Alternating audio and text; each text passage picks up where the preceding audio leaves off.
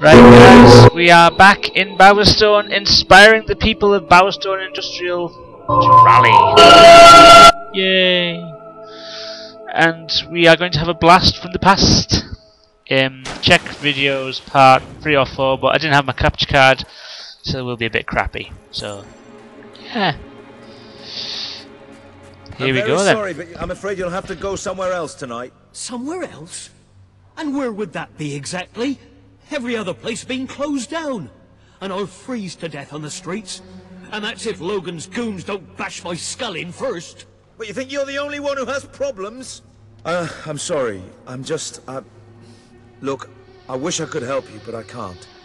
Might as well go I hope you're not looking for somewhere to stay. This place is about to close. For good. No. I have no choice. I have to sell the building to pay the ransom. It's the only way to get my fiancée back. I tried to work up the courage Oh, ah, risk anything for love. Damn that ferret and his gang. They've got everyone living in fear, even me. But if I had you with me, you could go in there and show them what fear really is. We could rescue my fiancée, put Ferret out of business, and I could keep the shelter open. Please, if not for me, do it for the poor people who depend on this place. I was about to say if I get a word in edgeways, yes I will Oh, thank you. My poor love. It's been agony being apart from her. And it's about time those thugs faced justice. The rough kind. They've been harassing the local homeless for weeks. But now this, it's outrageous. I know where they are. They demanded I bring them the ransom in a week's time. But I'll bring them something better. This guy talks as much as me. Anyway, so yes, um, we actually saw this guy at the castle. We signed his petition petition to eradicate poverty in Albion, if I remember correctly. Oslo, I'll figure that out. you just cost me a bit of gold, mate. I bet old Harry'd take you the full week to get the money. You're an industrious one, ain't you?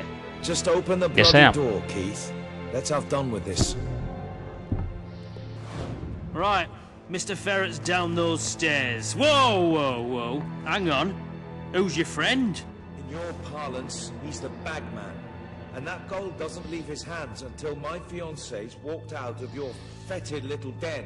All right, no need to get all uppity. You just watch yourself around, Mr. Ferret, or things will get unfriendly. Why does that guy sound like a chuckle brother? Did anyone else notice that? To me, to you, to me, to you. Don't get all uppity. That was the worst Chuckle Brothers. Yeah, basically, if you don't know what the Chuckle Brothers is, it was a TV show when I was a kid. That was my childhood, and watching my local football team. New game, new game. Can we guess my football team? What football team do I support? I'm surprised I haven't spoke about them in previous recordings, but yeah. Have a guess.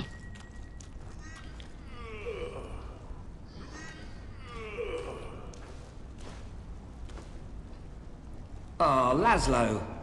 I can't tell you how Excuse me? to have this unfortunate situation brought to a satisfying resolution. Your associate can dispense with his burden by piling the funds upon the table. There's no gold, Ferret. Now you cough up my fiancée from whatever filthy corner you're keeping her in, or my associate is going to start collecting heads, piling them upon table. My initial judgment of your character was clearly misguided. You possess some heart after all. Lads, tear it out. So yeah, fight.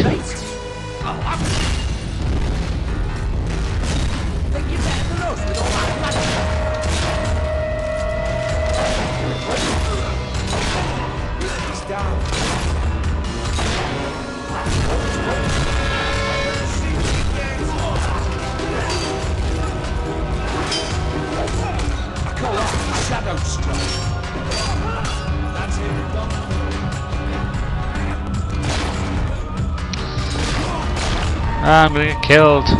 No. Get away from me.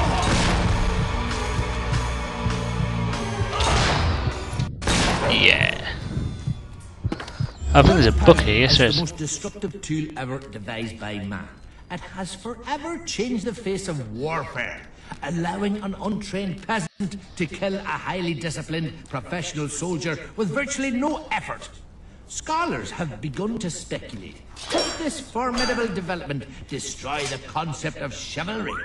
Perhaps even that of mercy.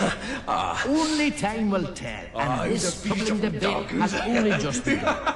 Also, gunpowder is used in fireworks to celebrate various occasions. And if you light off even a quite small one in your hand, it will hurt very, very badly.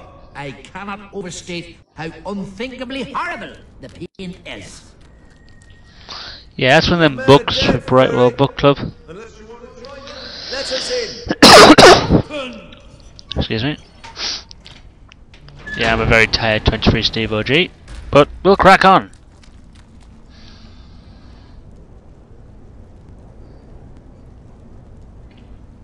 You brought this on yourself, Ferret. This didn't have to happen. It still doesn't. We really got off on the wrong foot. I'm no threat to you without my men, and I'm only too happy to return your fiancée. I can be quite accommodating. Get on with it then. Well, the thing is, she's actually not on the premises exactly at the uh, present time. She's incarcerated within a nearby facility, shall we say. That access hatch will provide you with, a well, access. The sewer. you fellas are a sophisticated lot. Please, go and get her. I'll keep an eye on Ferret. So yeah, we're gonna go get his girlfriend.